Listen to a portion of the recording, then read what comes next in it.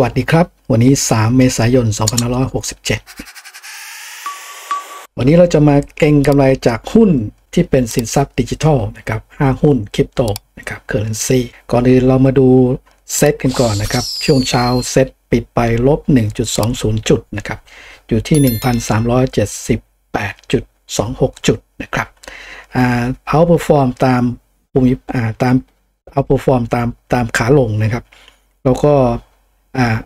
ได้ภูมิภาคนั้นได้พลังงานช่วยพยุงนะครับ คือ outperform ตามภูมิภาคนะครับ แต่ว่าได้ได้กลุ่มพลังงานนั้นช่วยพยุงนะครับ ราคาก็เลยยังลบแค่ 1.2 จุดนะครับ ทีนี้นะครับไปดูนะครับ MAI ยังลบอยู่ 1.06 อยู่ที่ 405.71 จุดนะครับ ก็ยังคง sideway ตามเซตลงไปนะครับ ส่วนราคาทองคำนะครับยังคงไซด์เวย์ขึ้นมานะครับ แล้วเช้านี้ก็เป็นครั้งแรกของประเทศไทยที่ ทองคำถึง 40,000 บาทนะครับ เป็นทำนิวไฮนะครับในรอบอหลายๆปีที่ผ่านมานะครับสูงที่สุดนะครับของทองคำนะครับ ตอนนี้ราคาทองคำก็อยู่ที่ 2,285.24 ดอลลาร์ต่อออนนะครับ ส่วนราคาค่าน้ำมันก็ดูเหมือนว่าจะพุ่งขึ้นมานะครับ แต่ว่า Brent spot นั้นลดลงไปนะครับอยู่ที่ 88.81 บาร์เรลต่อดอลลาร์นะครับส่วน WTI นั้นก็อยู่ที่ 85.16 บาร์เรลต่อดอลลาร์นะครับค่าเงินเยนยังคงอ่อนค่าขึ้นมานะครับแล้วก็อยู่ที่ 151.64 เยนต่อดอลลาร์นะครับส่วนเงินบาทก็อ่อนค่าอยู่ที่ 36.67 บาทต่อดอลลาร์นะครับเป็นผลดีกับหุ้นส่งออกนะครับช่วงจังหวะนี้ต้นเดือนของเมษานะครับทีนี้เราจะไปดูนะครับที่เรา จะมาอ่านเกมให้ฟังว่าในการวิเคราะห์หุ้นนะครับ 5 ตัวของอของตัวที่เป็นสินทรัพย์ดิจิทัลนี่นะครับ บางตัวก็ไม่มีไม่มีอ่าไม่มีคริปโตสะสมนะครับ บางตัวก็มีคริปโตขัดสะสมไปด้วยนะครับ แล้วก็ขุดเหมืองขึ้นไปด้วยนะครับ ก็มีมาได้ 5 ตัวที่เราเห็นเห็นกันอยู่นะครับในปัจจุบันของหุ้นไทยนะครับ เราก็จะนำแต่ละตัวมาวิเคราะห์ให้ท่านได้รับทราบกันนะครับ โดยนะครับเช้านี้เซ็ตยังลบอยู่ 1.2 1.20 จุดนะครับ ก็อยู่ที่ 1,378 เพื่อเอามาอ้างอิงให้เห็นเทียบกับราคาของหุ้นด้วยว่ามันบวกหรือลบต่างกันอย่างไรนะครับ แล้วช่วงจังหวะระยะเวลานี้ เราก็จะเห็นว่าราคาของของคริปโตนั้นนะครับผันผวนขึ้นขึ้นลงลงนะครับก็ใกล้ที่จะ having นะครับ BTC ก็คืออลดราคาลงของ BTC ลงมาก็อีกประมาณสัก 10 กว่าวันที่ถึงนี้นะครับ ก็จะดูว่าจังหวะของราคานั้นจะเป็นอย่างไร แล้วจะเป็นจังหวะให้นักลงทุนเข้าฉวยโอกาสช้อนในราคาที่ต่ำลงนะครับ ถ้าดูจากการเคลื่อนที่ขึ้นลงของราคานะครับ เมื่อไหร่ที่เกิด having ขึ้นเนี่ยราคาจะย่อตัวก่อนนะครับราคาจะย่อตัวลงมาสักพักหนึ่งสัก 2-3 อาทิตย์ แล้วราคาก็จะดีดกลับขึ้นมากกว่าเดิมนะครับ ก็ดูจากสถิติที่ผ่านมาตั้งแต่ปีพันกว่า ปีพันกว่าๆนะครับคือ 2,000ก็2010 กว่าๆกับปี 2020 แล้วก็ปีนี้ 2024 นะครับ ก็รอดูกันต่อไปนะครับ สถิติมันมีเอาไว้ให้ให้เราตรวจสอบได้อยู่แล้วว่าอดีตเคยเกิดขึ้นอย่างไร เราก็มาวางแผนกันนะครับ ว่าถ้าราคามันย่อลงไป เราก็รอรับที่มัน ถ้าเราเป็นนักลงทุนเราก็อ่านกินรอรับที่ราคาต่ำๆเราก็ค่อย ค่อยขายในราคาที่สูงขึ้นในจังหวะนี้ เราก็มาดูกันนะครับว่าตัวใดนั้นจะเป็นโอกาสนะครับ อย่างตัวแรกที่นำเข้ามานี่ก็ตัว JTS นะครับหรือ Jasmine Technology Solution นะครับ ไปดูก่อนนะครับว่า 3 เดือนที่ผ่านมานั้น Jasmine ลบไป 42% 1 เดือนที่ผ่านมาก็ลบไป 25% 1 อาทิตย์ที่ผ่านมาก็ลบไป 11%ดูเหมือนว่าจะไซด์ไวดาวแล้วก็ย่อต่ำลงมา แต่ว่า วันนี้ในการย่อของเขานั้นบวกขึ้นมา 0.75 สตางค์นะครับอยู่ที่ 53 บาทนะครับก็ Just Jasmine อ่า T อ่า JTS นี่ก็เคยขึ้นไปถึงเกือบ 70 80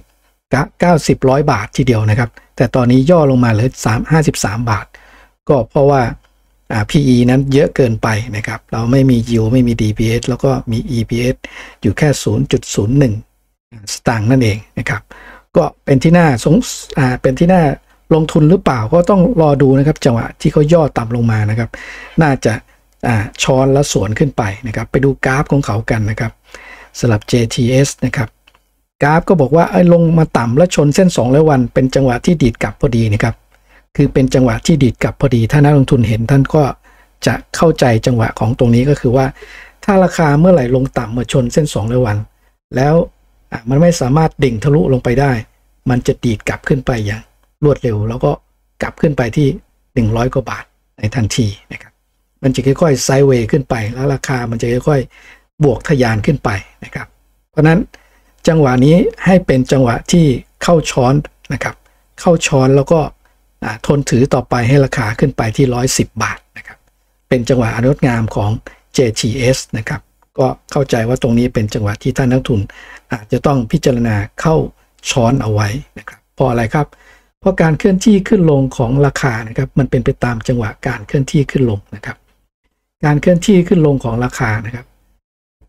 ไลฟ์ไซเคิลเมื่อต่ำสุดมันก็จะขึ้นไปสูงสุด เมื่อสูงสุดเสร็จมันก็จะลงมาต่ำสุด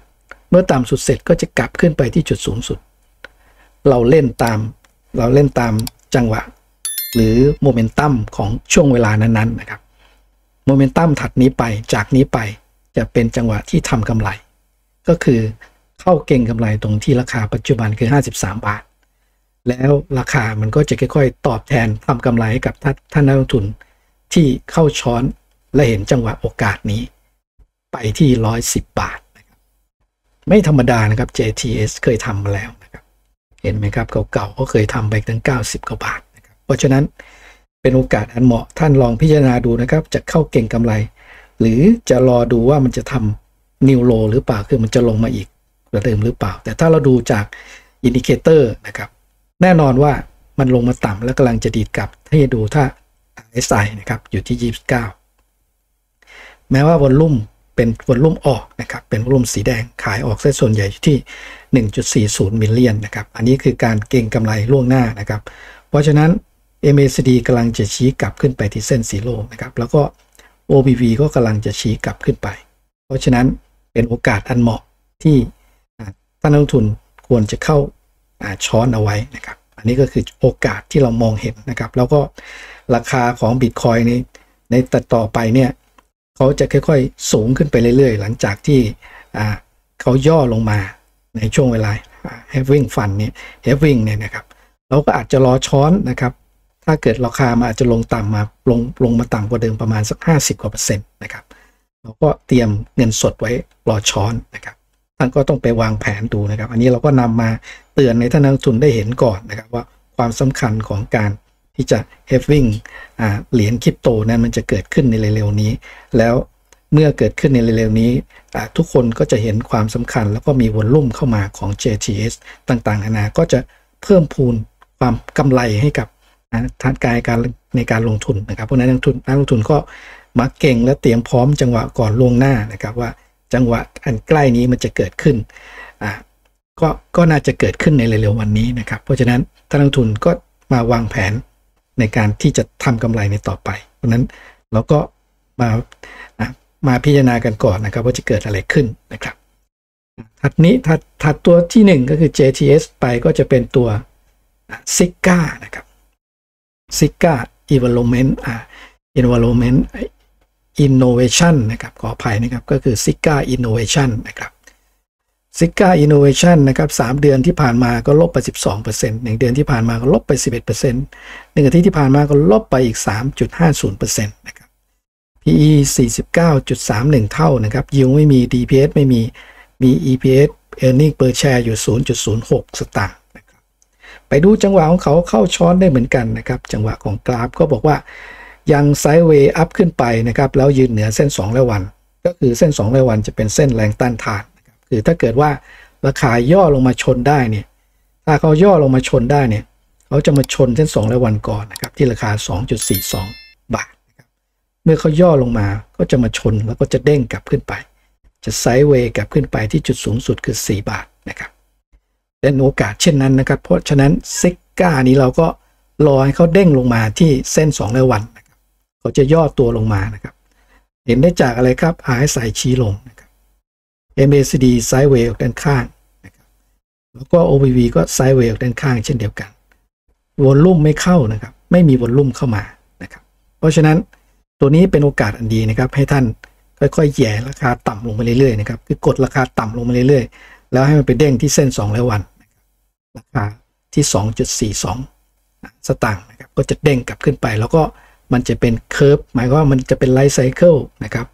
จากกรณีที่มันเกิดขึ้นทุกสิ่งทุกอย่างจะเกิดขึ้นอยู่ในกรอบ linear regression นะครับเริ่มต้นที่เข้ามาต่ำสุดก็ขึ้นไปสูงสุด แล้วก็จะลงมาต่ำสุด แล้วก็จะกลับขึ้นไปที่สูงสุด เป็นแนวทางการเก็งกำไรในสไตล์ของเรานะครับก็จะเป็นโมเมนตัมที่เราต้องเข้า พิจารณาในการทำกำไรต่อไปนะครับ อันนี้เราก็มาแนะนำเตือนในท่านเห็นว่า รูปกราฟมันจะเป็นคล้ายๆกันทั้งนั้น เป็นจังหวะให้ช้อนพอช้อนเสร็จต้องอดทน กัดฟันทนถือให้ราคาทำกำไรไปถึงจุดเป้าหมายของเรานะครับ ก็เรียนให้ท่านนักทุนได้ลองพิจารณาดูนะครับ อย่าเชื่อทุกสิ่งทุกอย่างที่เราเรียนให้ท่านทราบ แต่จงดำไปวิเคราะห์แล้วก็ไปวางแผนทำกำไรแล้วแต่ท่านนักลงทุนจะเป็นผู้จัดการแผนนั้นนะครับ ก็ขอให้ มีกำไรกันนะครับ มาที่ตัวที่ 3 XPG ซึ่งนะครับ ตัวนี้นี่ก็ไม่เข้าใจเหมือนกัน XPG นี่เขาเขาดำเนินธุรกิจเกี่ยวกับคริปโต แต่เขาไม่มีคริปโต เขาไม่ซื้อคริปโตเก็บไว้นะครับเขาบอกว่าคือในการรายงานผลนะครับ คือดูผ่านมาเมื่อ 30อ่ามิถุนาปีที่แล้วนะครับ SPG ไม่มีคริปโตสักเหรียญเก็บซื้อเอาไว้เลยในในในที่บอกว่าเขาทำ คริปโต แล้วก็ทำกำไรมาได้ 60 กว่าล้านเนี่ย แต่ปรากฏว่าเขาไม่มีคริปโตไว้สักเหรียญเลยนะครับสำหรับ XPG ก็ไม่ทราบว่าเขาจัดบริษัทขึ้นมาเพื่ออะไร ก็อาจจะเป็นการรอรอทำเงินดิจิตอลนะครับ ก็คือถ้าเกิดว่าจะจะร่วมทำกับกระเป๋าตังค์นะครับผู้ดูแลกระเป๋าตังค์หรือเปล่า อันนี้ก็น่าน่าจะเป็นเช่นนั้น แต่ตอนนี้ยังเป็นขาลงนะครับ เป็นขาให้เราช้อนนะครับ เพราะอะไรครับ 3 เดือนที่ผ่านมาบวกอยู่ 4% 1 เดือนที่ผ่านมาก็บวกไป 5%ส่วนหนึ่งอาทิตย์ที่ผ่านมานั้น ลบลงมา 5.63%นะครับ PE มี 121 เท่านะครับ แล้วก็ไม่มียิวไม่มี DPS แต่ว่ามีกำไรสุทธินะครับ อยู่ที่กำไรสุทธิอยู่ที่ 0.01 สตางค์นะครับ แล้วราคาก็ย่อลงมา 0.02 สตางค์อยู่ที่ 3.14 บาทนะครับ ก็ไปดูกราฟกันนะครับว่าจะเก่งกำไรได้อย่างไรนะครับ กราฟก็บอกว่าเมื่อขึ้นไปถึงจุดสูงสุดแล้วเขาก็กำลังย่อลงมาด้านล่างนะครับคือเมื่อเขาขึ้นไปถึงจุดสูงสุดเขาก็จะย่อลงมาด้านล่าง แล้วก็ขึ้นไปที่จุดสูงสุดเสร็จ เมื่อถึงจุดสูงสุดเสร็จเขาก็ต้องย่อลงมาด้านล่าง เพราะนั้นเราไปรอรับที่เส้น2แล้ววัน จะเห็นว่าเหมือนกันใช่ไหมครับ เหมือนกัน 3 ตัวแล้วนะครับ รอรับที่เส้น2แล้ววัน อย่างตัวแรกไปถึงจุดที่รอรับเรียบร้อยแล้วก็คือตัวอ่า JTS นะครับ JTS ถึงเส้น2แล้ววัน แล้วมันจะต้องเด้งขึ้นไปนะครับดูตัวอย่างจาก JTS ก็ได้นะครับ ถ้าเขาย่อลงมาถึงเส้น2แล้ววัน เขาจะต้องดีดกลับขึ้นไปนะครับ อันนี้เป็นเป็นเทคนิคที่ของกราฟของเขานะครับ ยังไงมันจะต้องเมื่อลงมาชนเส้น 2 ระวันจะต้องเด้งกลับขึ้นไปนะครับทำกำไรให้กับท่านนักทุนอีกรอบหนึ่งเพราะนั้นเราก็รอโมเมนตัมแบบนี้ที่จะเก่งกำไรนะครับ ก็ลองลองรอดูนะครับว่าเขาจะลงมาต่ำ ที่เส้น 2ระวันได้หรือเปล่าที่ราคา 1.80ไอ้1.1.18 นะครับ ที่ราคาต่ำของเส้น 2ระวันนะครับ ก็รอพี่นาดูนะครับ แต่ว่าเราก็ไม่ค่อยมั่นใจกับ XPG เพราะอะไรครับ บอกว่าบริการเกี่ยวกับบล็อกเชนหรือบริการเกี่ยวกับคริปโต แต่ว่าไม่มีไม่ถือคริปโตสักเหรียญเลยนะครับ ก็ลองพิจารณาดูนะครับนักลงทุนก็ลองพิจารณาดูนะครับ อันนี้เราก็พูดได้ประมาณนี้นะครับ ถัดมาตัว BROOK นะครับ BROOK นี่ก็ซื้อคริปโตไว้เยอะเช่นเดียวกันนะครับตัว BROOK ก็ถ้าไปดู report ของเขาก็จะมีคริปโตนะครับคือคริปโตเขาซื้อไว้ตอนที่ประมาณ 9 0 0 0 0 0ต่อต่อเหรียญนะครับเขาซื้อไว้ที่ 9 0 0 0 0 0ต่อเหรียญเก้าแสนเก้าแสนหนึ่งเหรียญเท่ากับเก้าแสนบาทนะครับเก้าแสนเก้ากว่านะครับแต่ตอนนี้หนึ่งเหรียญมันคือสองล้านกว่านะครับนั่นก็หมายความว่าแน่นอนว่าบุ๊กก็ต้องทำกำไร แต่เรามองต่างกันตรงที่เขาทากำไรแต่ว่า เขามีอะไรเขาเรียกมีมีอะไรแอบแฝงอยู่ราคาก็เลยย่อลงมานะครับ ก็ถือเป็นจุดที่ให้นักลงทุนนั้น ลองดูเก่งกำไรกันนะครับเขาจะมีช่วงจังหวะ ตอนนี้เป็นจังหวะย่อลงมานะครับ ให้นักลงทุนเข้าช้อนหรือเข้าวางแผนช้อนและเก่งกำไร เดี๋ยวมันจะเป็นคล้าย ๆกันนะครับ ตัวตัวที่เกี่ยวกับอ่าคริปโตเนี่ยลักษณะของกราฟแต่ละตัวเนี่ยมันจะย่อลงมาเหมือนกันหมดเลยนะครับ เพราะฉะนั้นเราเล่นง่ายนะครับ พวกนี้ เราต้องรอช้อนและดูจังหวะช้อนให้ถูกนะครับ จะจะเข้าก็ต่อเมื่อ MACD ชี้ขึ้นนะครับ อันนี้คือเล่าให้ท่านระมัดระวังนะครับสามเดือนที่ผ่านมาของบุ๊กนั้นนะครับลบไป11%หนึ่งเดือนที่ผ่านมาก็ลบไป 14%หนึ่งอาทิตย์ที่ผ่านมาก็ลบไป 11% PE อยู่แค่ 13 เท่านะครับ แล้วมี yield อยู่ 3.64 มี EPS ที่ 0.04 แล้วก็มีการปันผลด้วยที่ 0.02 ถือว่าตัวนี้เป็นตัว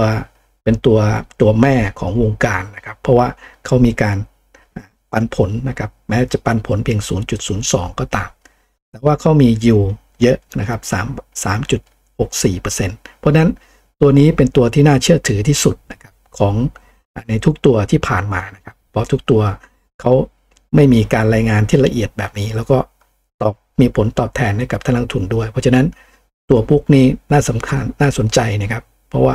เขาเดอะบุ๊กเกอร์ก o ฟนะครับเขายังมีการให้กำไรคืนกับต่อท่านนักลงทุนนะครับ เพราะนั้นตอนนี้ราคาย่อลงมานะครับไปดูนะครับว่าเขาย่อลงมาเหมาะที่จะรับที่ตรงไหนนะครับ เห็นไหมครับว่าราคาเหมือนเหมือนกันหมดเลยนะครับสลับตัวคริปโตคือ รอรับที่เส้น2แล้ววันนะครับ ตัวนี้เส้น2แล้ววันอยู่ที่ 0.47 นะครับเพราะฉะนั้นราคายังคงไซด์เวดาวลงมานะครับเขาต้องกดต่ำลงมากว่านี้นะครับ เพราะว่า ช่วงจังหวะระยะเวลานี้ดูเหมือนว่าคริปโตนั้นก็ย่อลงมานะครับ ไปย่อลงมาเพื่อเพื่อสร้างแนวฐานนะครับ สร้างแนวเทรดก่อนที่จะตัดสินใจในในการย่อครั้งต่อไปก็คืออีก 10 กว่าวันที่มีการเฮฟวิ่งนะครับเฮฟวิ่งเหรียญนะครับ เพราะฉะนั้นแน่นอนว่าช่วงจังหวะนี้เขาก็ต้องย่อนะครับ เพราะฉะนั้น